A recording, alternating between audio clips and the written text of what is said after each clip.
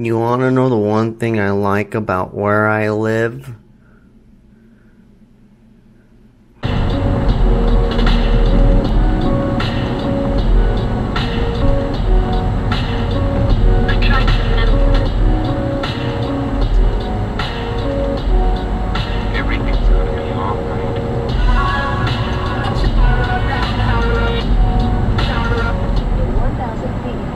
It's the elementary example of caring for your environment.